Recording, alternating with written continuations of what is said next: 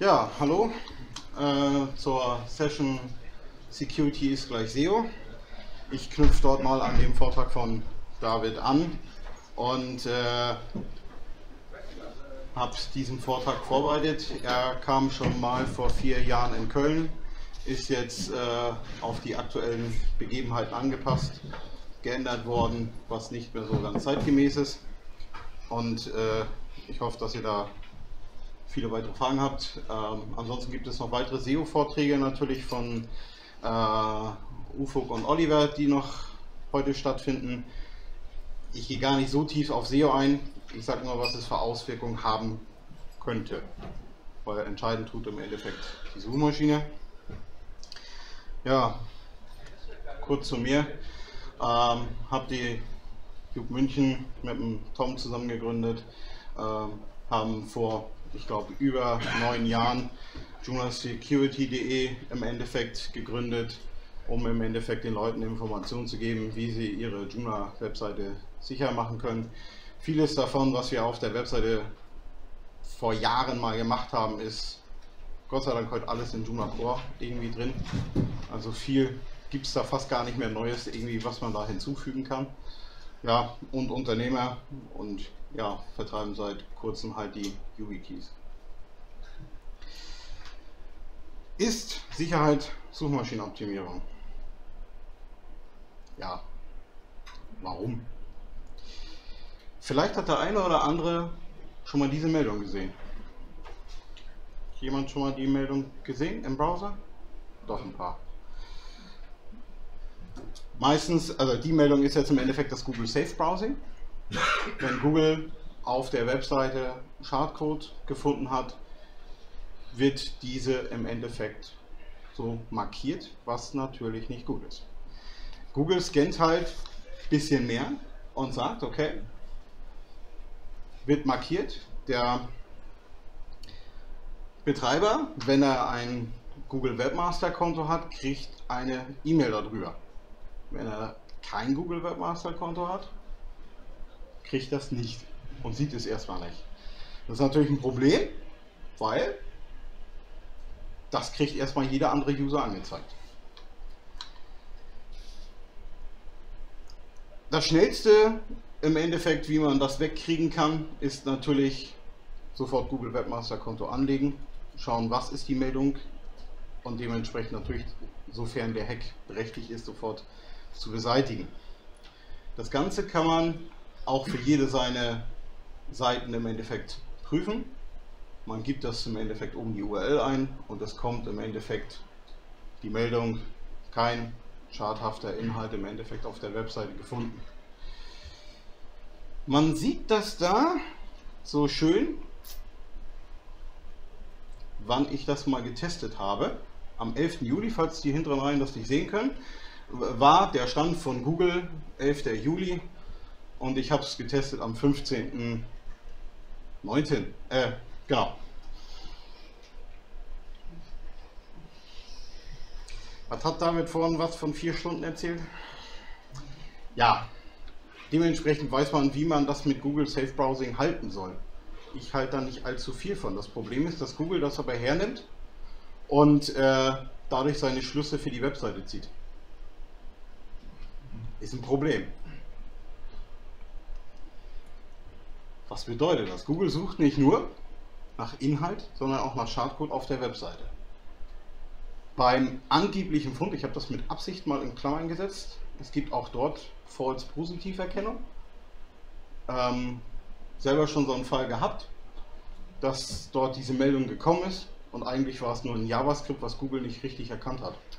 Und schon hast du eine Meldung gehabt und hattest ein Riesenproblem. Google Webmaster Tools kann ich eigentlich jeden nahelegen, der eine Webseite hat, weil man kann da halt noch ein bisschen mehr sehen als nur sowas. Was passiert im Endeffekt durch dieses Ganze, was dort äh, von Google im Endeffekt passiert? Wenn diese Meldung nicht innerhalb kürzester Zeit bearbeitet wird vom Webmaster, passiert eine erhebliche Positionierungsverschlechterung. Das habe ich selber feststellen können bei Kundenseiten. Und halt auch, dass die komplett aus dem Index entfernt werden. Dann wieder reinzukommen, dauert oder auch gar nicht. Entscheidet Google. Das ist halt so, so ein schwieriges Thema. Das heißt, alles, was, was David im Vortrag davor gesagt hat, sollte man natürlich tun, damit sowas erst gar nicht auftritt. Darüber sollte sich, sage ich mal, jeder im Klaren sein, ähm, dass halt solche Sachen Auswirkungen haben.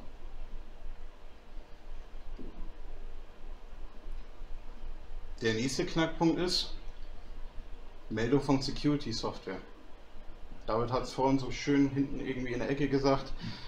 Bild passt sogar, war nämlich der gleiche Anbieter, der es gesagt hat. Wenn eine Webseite Schadcode hat, erkennt das ja nicht nur Google, sondern auch lokal installierte Security Software oder auch Appliance, die irgendwo in Firmen stehen. Was passiert dadurch? Die Webseite kommt intern auf eine Blacklist. Das Problem ist, dass diese Blacklisten durchgereicht werden. Also viele greifen, also es gibt einige, aber viele Anbieter greifen halt immer auf diese Blacklisten zu. Die Daten werden ausgetauscht. Das ist wie bei Google ähm, ähm, Safe Browsing. Die Daten werden aber nicht ständig aktualisiert. Also es gibt Anbieter, die arbeiten mit Datenbanken von vor acht Monaten. Macht Spaß. Äh, dementsprechend hat man da ein Riesenproblem. Es werden falsch, falsche Werte ausgegeben. Google liest auch diese Datenbanken aus und prüft das natürlich mit eigenen Datenbanken ab. Und wenn Google sagt, okay, in dem Falle der nette russische Anbieter dort hat gesagt, da ist irgendwie Schadcode drauf, ich tue das auch bei mir melden, passiert wieder das gleiche.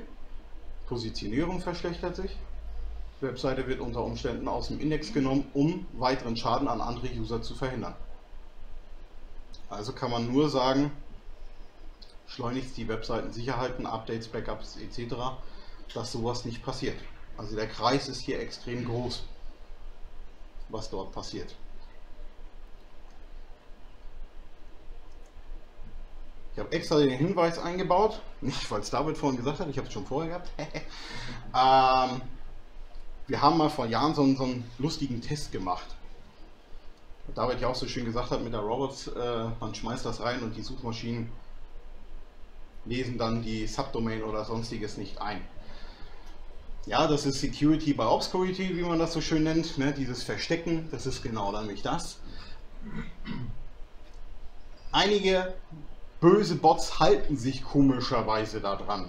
Bis heute, ich habe es nicht verstanden, warum. Da werden wirklich, also ich gebe in der Robots.txt ein, du böser Bot X, indiziere bitte nicht meine Webseite, weil ich mag dich nicht. Es gibt einige Bots, die halten sich dran. Habe ich nicht verstanden, warum. Weil eigentlich deren Geschäftsmodell, weil haben wir auch gelernt, wollen ja Geld damit verdienen. Machen das aber. Wie kann man das im Endeffekt, warum haben wir das im Endeffekt gemacht? Weil wir, also die Robots.txt, die da im Hintergrund ist, das ist die von Juno Security kann ja jeder einsehen, einfach nur robots.txt hinter der Domain ran äh, und haben da einfach mal diese ganzen Crawler da einfach mal so reingehauen, um einfach mal zu schauen, was passiert. Teilweise total nutzlos. Bei manchen Sachen hat es funktioniert, was mich wie gesagt gewundert hat. Aber wir konnten halt irgendwie den Traffic reduzieren. Das fand ich faszinierend. Also unnützen Traffic. Un, äh, unnütze Besucherzahlen, die irgendwo dann aufgelistet sind fand ich ganz interessant. Und dadurch konnten wir auch nachweislich vor, wie gesagt, vor vier Jahren war es ungefähr, ähm, wo die Angriffe extrem zurückgegangen sind. Konnten zwar nicht nachvollziehen, warum, es macht aber, wie gesagt, für die Bots eigentlich keinen Sinn. Wenn man da schon halbwegs, äh, muss ich doch mal nochmal zurückgehen, äh, was im Endeffekt dagegen machen will, ist im Endeffekt ein HT-Access-Schutz im Endeffekt und diese Bots dann wirklich richtig aussperren und sagen, nein, du darfst nicht. Die Sache hat aber nur einen Haken. Einige kommen jetzt hier und sagen wirklich, hallo, ich bin der AA Crawler und den kann ich dann dementsprechend markieren und sagen, du kriegst halt eine 404 Seite oder 403 oder ich leite dich auf Google um oder und weg. Macht aber kaum einer. Die meisten kommen mit einem User Agent von Firefox, Chrome etc. Das heißt, das ist eigentlich sinnlos. Aber bei manchen funktioniert es. Kann man machen, muss man nicht. Auf jeden Fall hat uns äh, das einiges gezeigt, dass wir ähm, die Joomla Security.de aus vielen solcher unsinnigen Verzeichnissen entfernen konnten, die wir einfach als sinnlos erachtet haben, warum wir da drin stehen. Das ist dann wieder so Bad Neighborhood Links, die dann da irgendwo in ganz dubiosen Fällen auftauchen. War ganz interessant, war mal einfach so, so, ein, äh, so eine Resonanz daraus. David hat es ja auch so schön gesagt, äh, HTXs einschalten bringt natürlich im Endeffekt äh, nur bedingt was, wenn die Seiten da im Endeffekt gescrollt werden. Wenn man Seiten hacken will, Joomla Standard hat ja so, schön, so ein schönes Beispiel damit, ne? Index PHP, Fragezeichen Options. Google ist da sein Freund, das zeige ich gleich. Ähm, ich sag mal, das ist natürlich keine SEO-optimierte URL, brauchen wir nicht reden. Da steht nichts drin. Unten ist dann das richtige Ergebnis. Wenn ich das haben will, muss ich halt im Endeffekt die HT-Access aktivieren, also umbenennen von der Textdatei und im Backend aktivieren und dann sieht das auch schön aus. Ich habe letztens wieder so einen Fall gesehen, ähm, da wurde nur die Suchmaschinenoptimierung aktiviert und dann stand immer schön brav noch vor dem Impressum äh, index.php slash Impressum HTML. Sieht irgendwie auch nicht so toll aus. Aber zurück auf der ersten URL zu kommen, SEO-mäßig ist das ein Problem und so, äh, äh, von der Security her ebenfalls.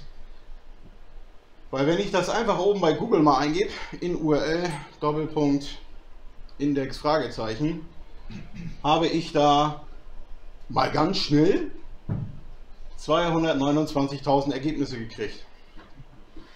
Damit weiß ich schon, dass 229.000 Webseiten ein Joomla verwenden. Und ich kann die angreifen. Klar, da laufen grundsätzlich Riesenabfragen drunter, wo ja, WordPress, also jeder, Web, äh, jeder Logdatei von euch taucht irgendwo ein WordPress-Hack auf, das ist einfach so, oder PHP Admin, was versucht wird irgendwie äh, auszuführen und so weiter. Aber wenn jemand da gezielt, sage ich mal, auf einer Joomla-Seiten angreifen will, weil er jetzt da wirklich irgendwie einen Exploit hat und will sich das ein bisschen äh, einfach machen. Klar kann er sich solche Domainlisten holen oder kann auch Google benutzen. Geht halt auch. Google ist in dem Fall sein Freund. Das kann man mit vielen anderen ähm, Sicherheitslücken halt auch noch machen. Das ist das Lustige daran. Also Google hilft da doch ziemlich viel. Ja. Was auch leider oft vorkommt, David hat so schön gesagt, wenn Dateien auf dem Server manipuliert werden. Ja, leider war es der JCE, ich nehme da kein Blatt vom Mund, es war eigentlich fast immer so, dass der irgendwie eine Lücke hatte. Dort wurden die Dateien manipuliert und dort wurden dann auch HT-Access-Dateien manipuliert. War sehr oft der Fall, wo dann im Endeffekt, wenn man die Seite direkt aufgerufen hat, hat man die Webseite gekriegt. Also sprich, der Eigentümer der Webseite, der sich das irgendwie meistens ja noch als Startseite eingerichtet hat, was ganz toll ist, um seine eigene Statistik dann noch zu verfälschen, wenn er nicht die IP gesperrt hat, hat gesagt, okay, er kriegt davon gar nichts mit, sieht das gar nicht. Aber die Benutzer, die von Google, Yahoo, Bing oder sonst woher kommen, werden umgeleitet auf via Google oder ganz woanders hin. Das Problem ist, dass Google das erkennt, weil die Umleitungen, die dort gebaut wurden, waren sogenannte 301 Umleitung, also SEO-konforme Umleitung. Das heißt, die haben den ganzen Bewertung von der Domain im Endeffekt an die andere Seite übertragen. War nicht so toll. Das Problem ist, dass wenn man das nicht relativ schnell erkennt, auch relativ schnell ein Schaden da sein kann. Das heißt, man tut seine eigene Webseite wieder runterstufen. Ähm, ob man jetzt dieses Verfahren schon äh, Doorware Pages nennen will, kann, will ich jetzt nicht unbedingt sagen, aber es ist ein Problem. Ich mache damit meine Suchmaschinenoptimierung kaputt. Auch da wieder, ich muss für Sicherheit sorgen. Sonst habe ich ein Problem. Diese Umleitung gab es nicht nur in der HT-Access-Manipulation, die gab es halt auch in der Index-PHP, gab es solche Sachen halt auch schon drin. Also da muss man halt dementsprechend schauen, ähm, dass man da dementsprechend sein System sauber hält. Auch immer wieder so ein Thema Fehlerseiten.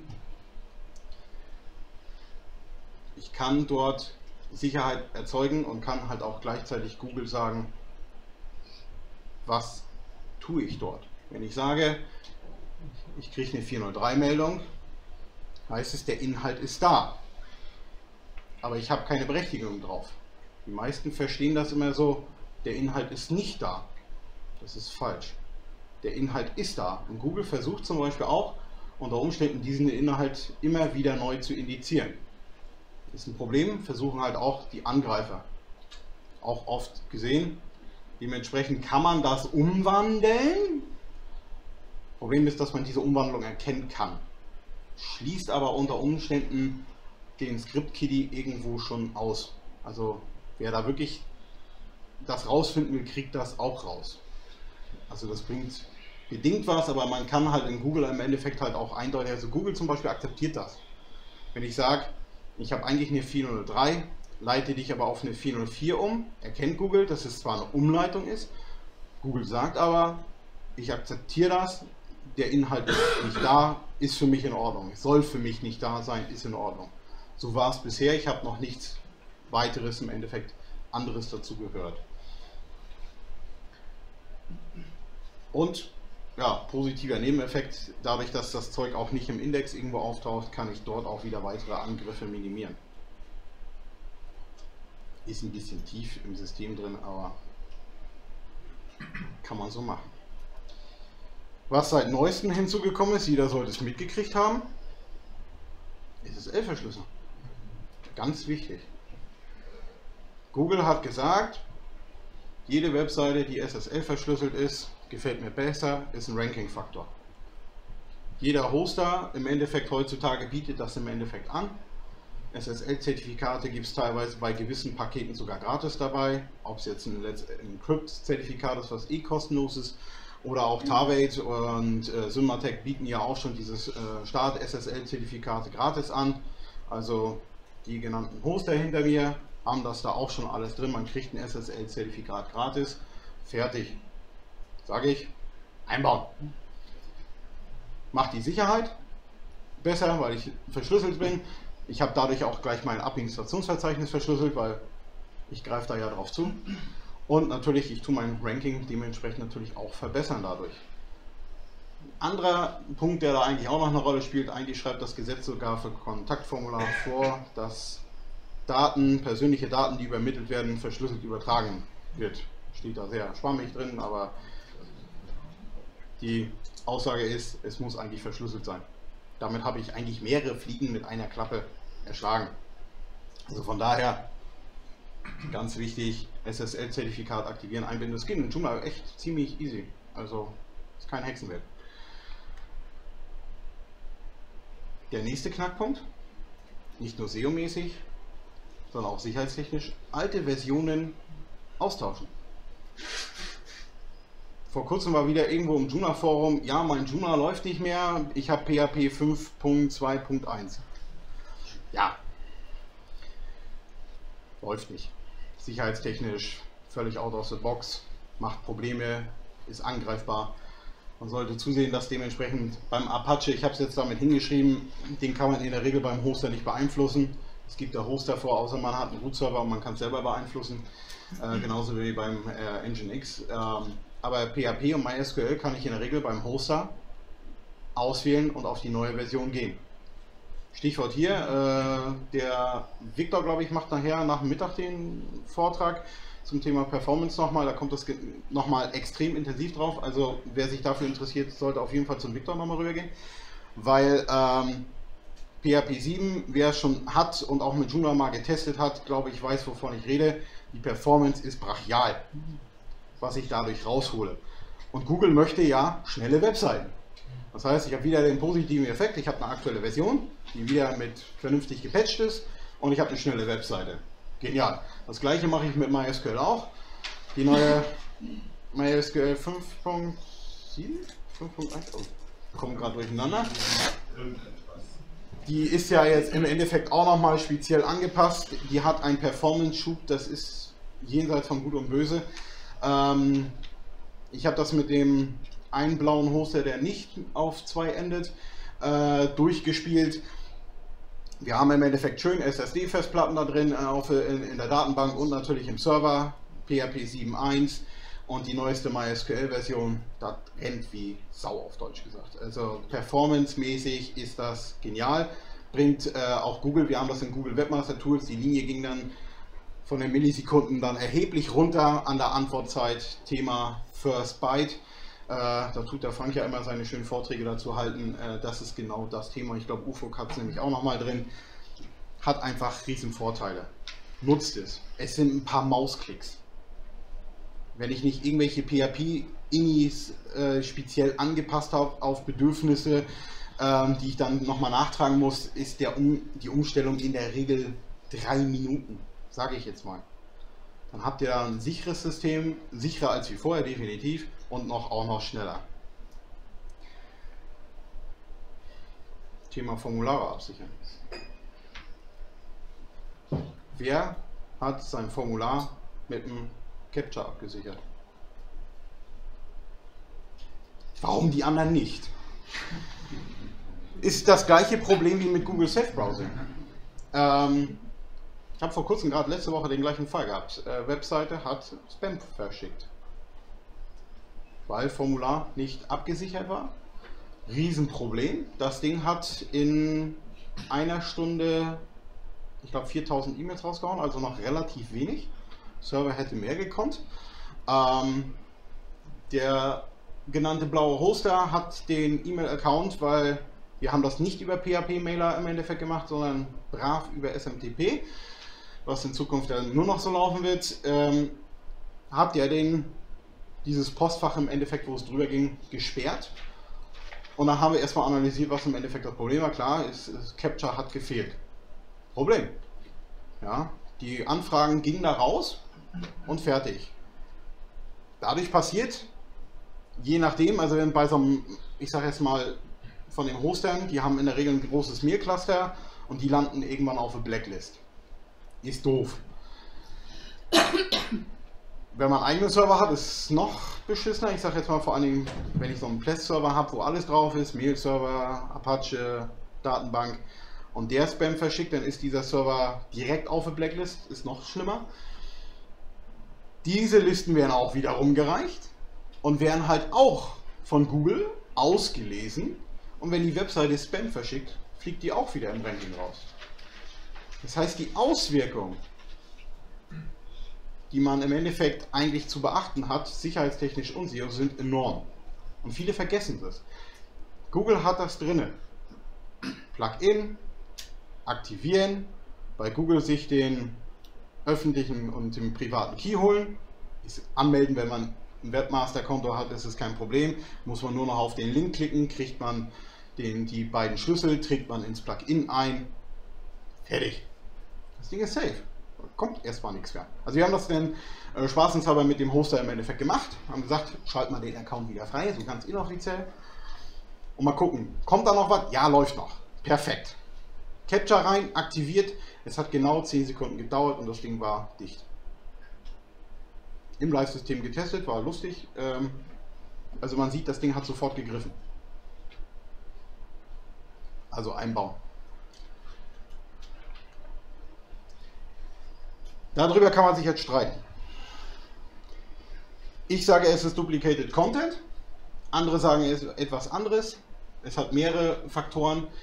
Ähm, es gibt halt Webseiten, die lesen den kompletten RSS-Feed im Endeffekt einer Webseite aus und binden den Inhalt so geschickt auf einer anderen Webseite ein, dass er aussieht, als wäre er von da, ohne irgendwie Canonical Text oder Baselinks oder sonstigen Kram, wo zu erkennen ist, dass der Inhalt eigentlich nicht von dieser Domain stammt.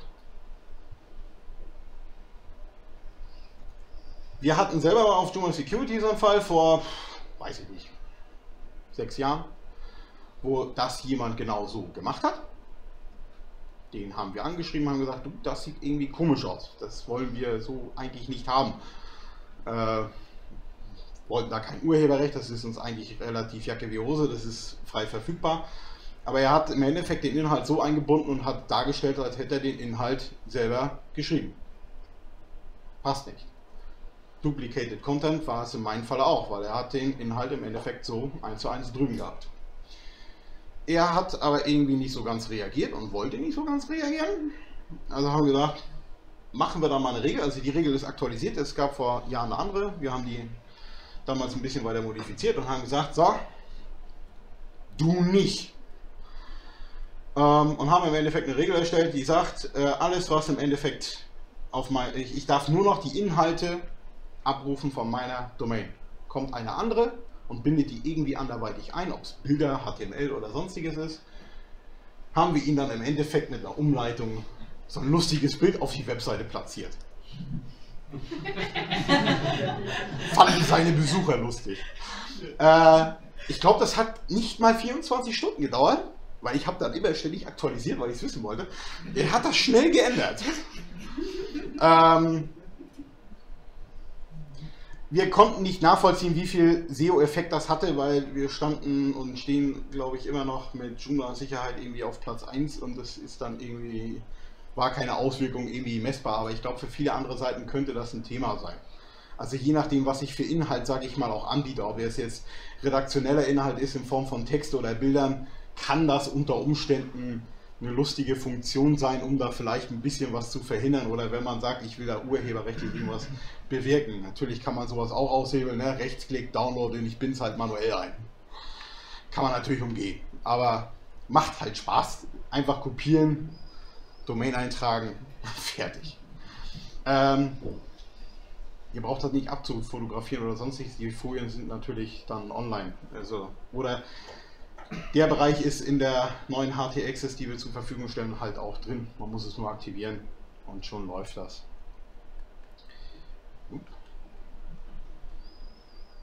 Thema Backlinks ist ja einmal so. Backlinks ist ja immer noch das, was natürlich neben Content zählt. Am wichtigsten. Ähm, wir haben viele Webseiten gesehen, wo es gar nicht auffällig war, dass da ein Hack stattgefunden hat weil der erstmal an sich relativ unscheinbar war.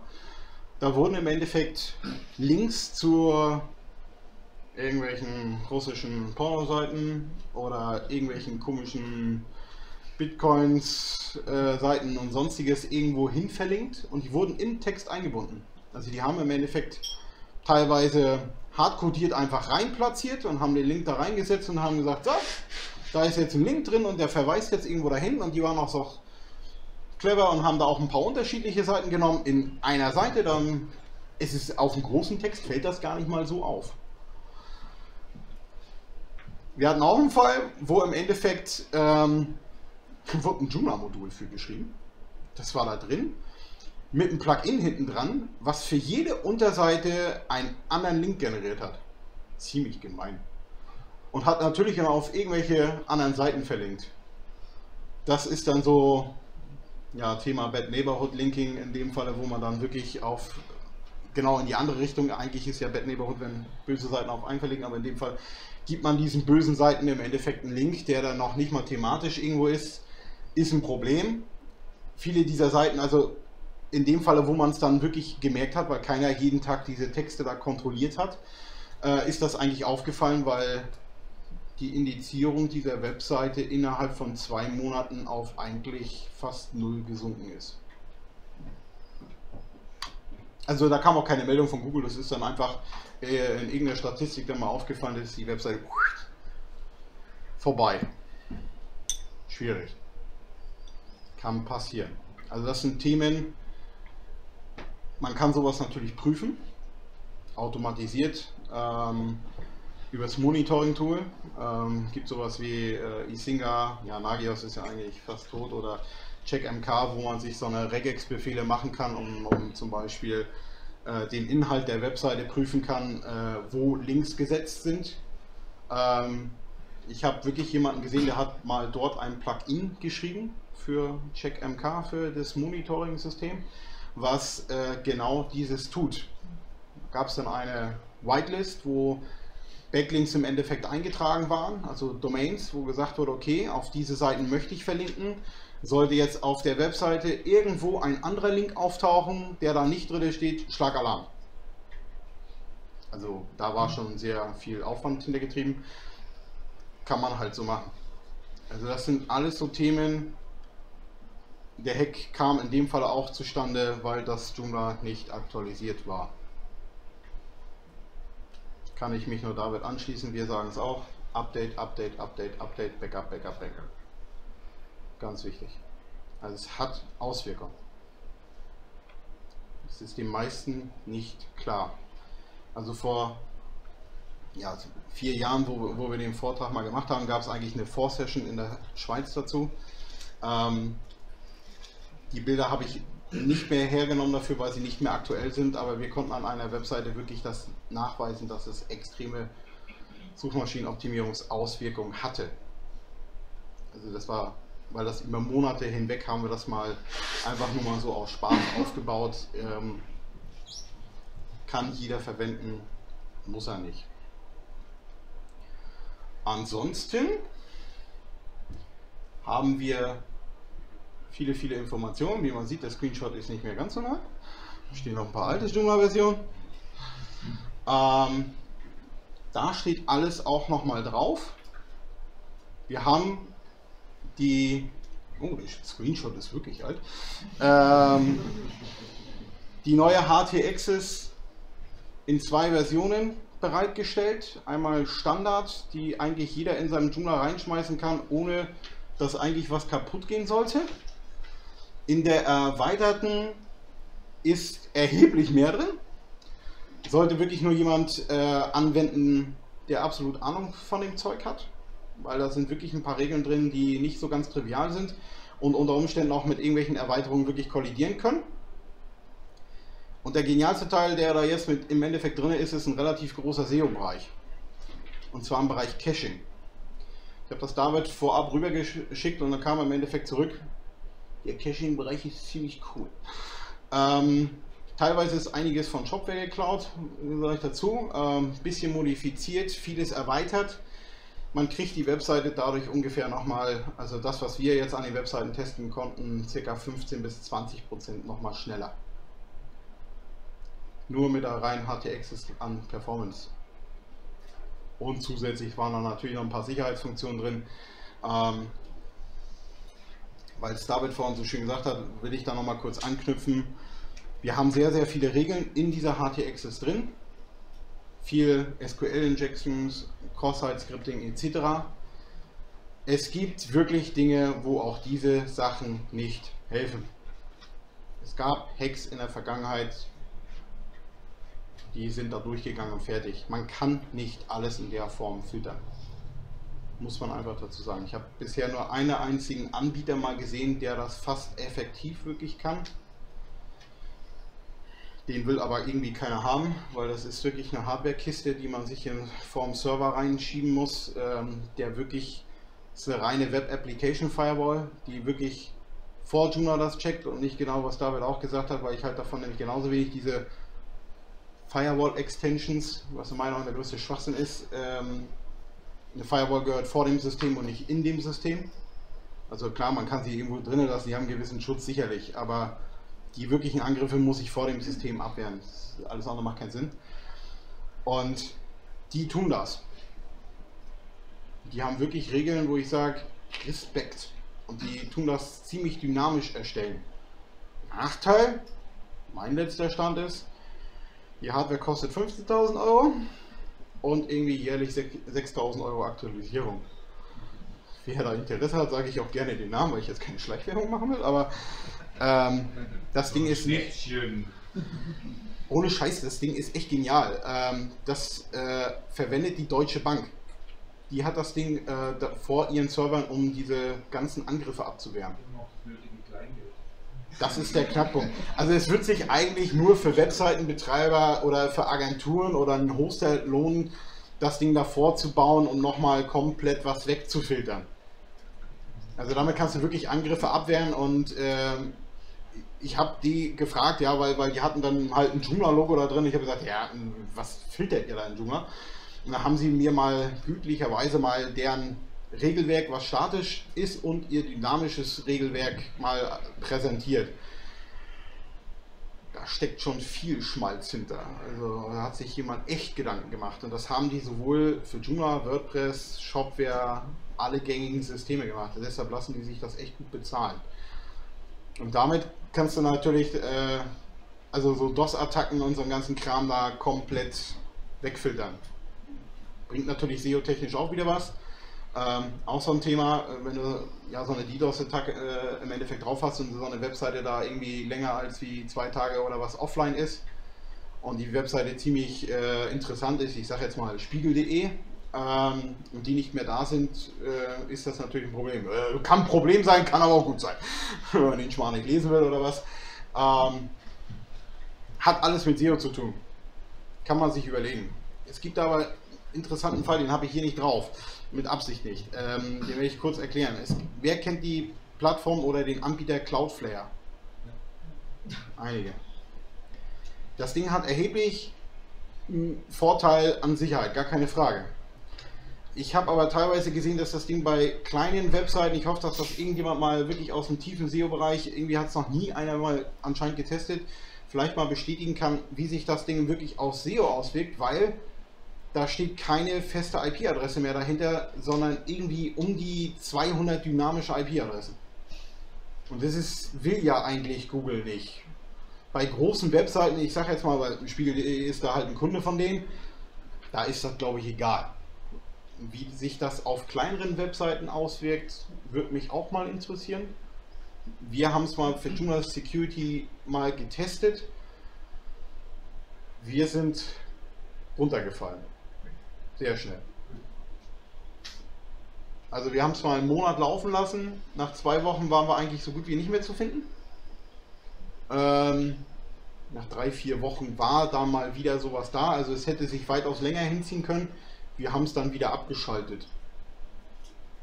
Also vielleicht kann da jemand ja vielleicht nochmal irgendwelche andere Erfahrungen bringen. Ähm, aber das ist ein Thema, sollte man halt im Endeffekt einfach mal schauen.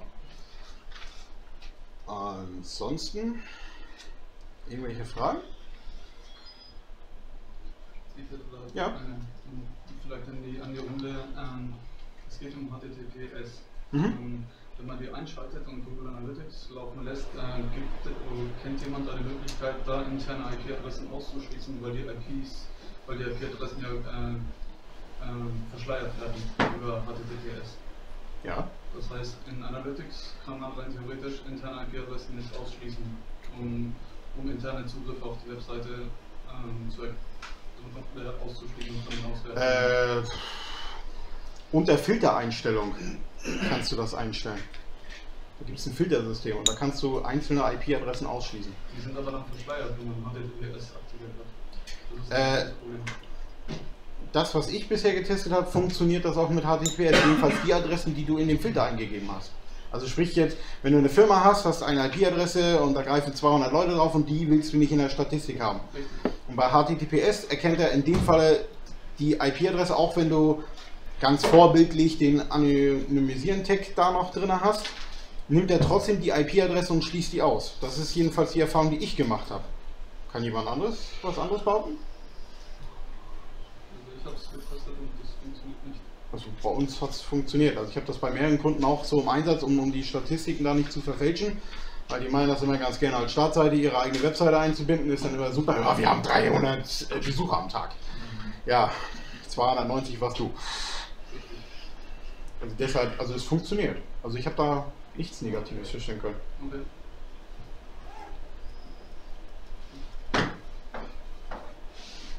Weitere Fragen? Hm? So, ich danke.